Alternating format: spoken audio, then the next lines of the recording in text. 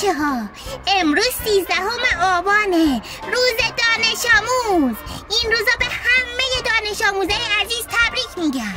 راستش من امروز خیلی خوشحالم. چون برای اولین بار می‌خوام تو مدرسهمون بازی کارت خودم خرید کنم.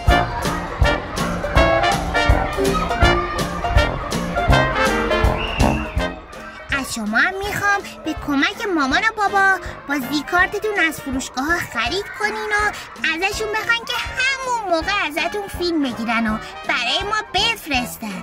ما هم به بهتریناشون جایزه میدیم. منتظر ویدیوهای قشنگتون هستیم.